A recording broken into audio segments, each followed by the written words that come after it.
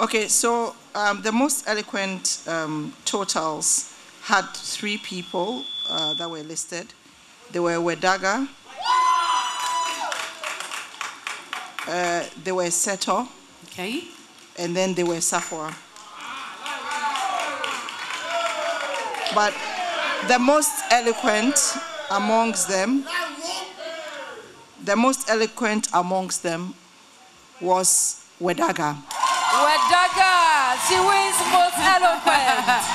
and tonight, kindly please climb up. go up there. She's Yes. getting products from Lavon's Whatever. Tomato Mix. Please climb A up. beautiful hamper from Thank Lavon's you. Tomato Mix. And that plaque from Infinity Creative Arts. Congratulations, Wedaga. Congratulations. There's a package also from, From Lavon's. Lavon's, Yeah, yes. tomato mix. A little heavy, by the way. All right. Wedaga taking home most eloquent.